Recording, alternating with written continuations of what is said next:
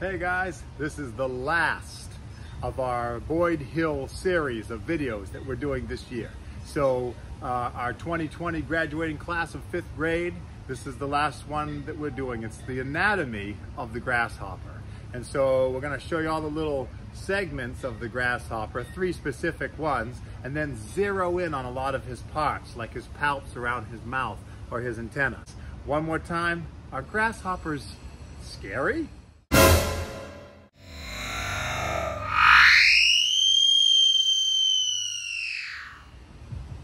Well, apparently my daughter thinks so, but I don't. Uh, other than being poisonous to ingest, so if you ate it, they're poisonous. They have no stinger. They really can't harm you. Their defense mechanism is to spray out this little foam around its abdomen that uh, is slightly toxic, but not much to humans.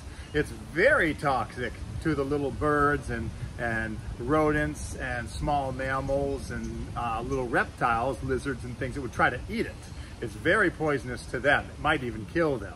Uh, and other than the loggerhead shrike, which has learned how to impale it and drain out the poison and then eat it, nothing else really likes to eat those things. So they're fairly safe to be as brightly colored as they are because they don't really need to camouflage that well. Although you'll see that they can camouflage pretty well, uh, making it hard to discover where they're at until you get close or until you see the damage. So I've just brought this guy into my backyard uh, and put him on one of the broad leaf plants that he likes to eat. And I'm just showing you that even the black one, not just the one that looks like the leaves themselves, but he can he can hide pretty well too, surprisingly, until you get close. And as we zoom in, you can see right where he is. But until you do, he's not as easy to spot. One more time, uh, but this is with the adult. You can see that it's uh, not readily easy to see. And I've got him right in the foreground of the plant. Now you might be able to spot this if you've got better eyes than me, but as I zoom in, I think he'll become quite clear to you as to where he's at. This one hides better, the adult hides better on a broadleaf plant. Another really cool thing about the grasshopper's appendages is uh, particularly the lubber grasshopper because he's the lubber, AKA lazy grasshopper.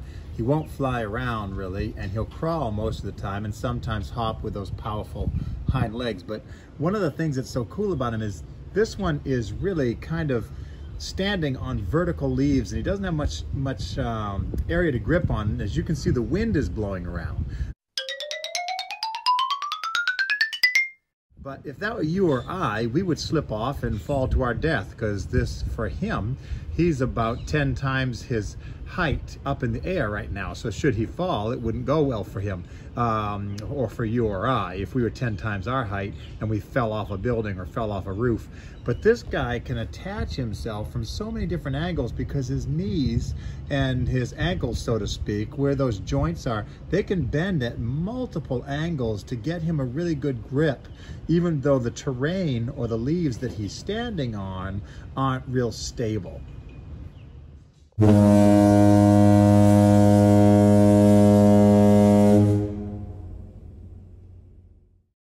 Like all insects, the grasshopper has three main segments to its body its head, its thorax, and its abdomen, along with six legs. Look at the two antennae that are moving around in front of the eyes of the grasshopper coming off his head. They're segmented, and what they do is they sense odor and touch and vibration, just like a snake flicking his tongue. Now let's just take a look at the mouth on this grasshopper. It's fascinating. He has four little palps that are like fingers just outside his mouth, and they pull the leaf to his mouth almost like your lips would pull food into your mouth. They also can taste it to see if it's poisonous so that he could synthesize the poison and make himself toxic.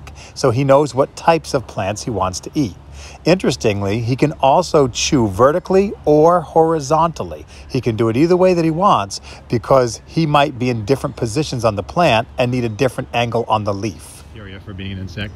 You can see his eyes too. His eyes are so cool. He's actually got two sets of them. One set you can't see real well because it's like a almost like what would look like a little hole next to the black eye, and that's just a light receptor, a very simple eye. But he's got this more compound eye that is very very visible, and that's where uh, a lot of his vision comes from.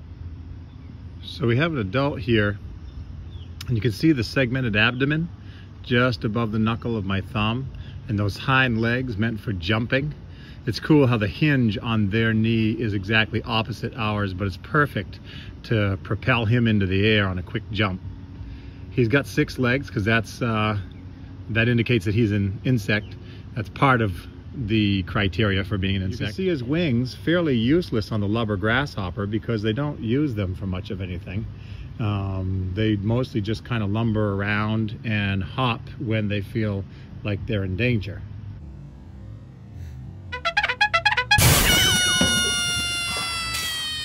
The other two legs that you see on this side, two on the other, the four total, uh, just for walking just just trying to get around or grabbing.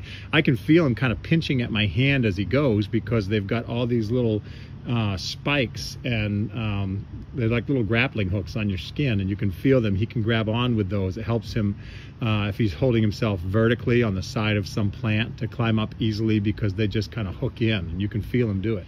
And that is not a stinger. A lot of kids are worried that that's a stinger. Uh, in a female, that's a on the on the tip there is an ovipositor where they take their eggs and stick them in the ground about three centimeters below the surface so that um, they can make it through the winter and then uh, in the spring hatch. And there'll be all kinds of those little nymphs like the black grasshopper that we saw just a little while ago. All along his abdomen there are spiracles which are little holes in every one of those abdominal segments and he breathes through those. He doesn't really breathe through his mouth insects take a lot of oxygen. It's one of the reasons that they're so small is that takes a ton of oxygen to do all the things that they do. And so in those little segments, and we're trying to get a close up on it, there are little holes uh, along its abdomen and it breathes through those.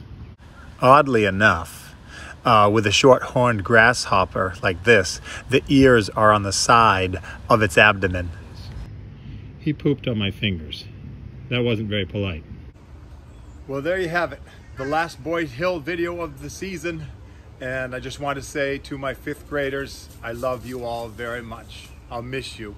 Sorry that our year ended in a COVID crisis that didn't allow us to be in the same place. But know that you're loved. Know that I miss you. And you can come back and visit anytime. I highly encourage it. So we'll see you. Stupid grasshoppers.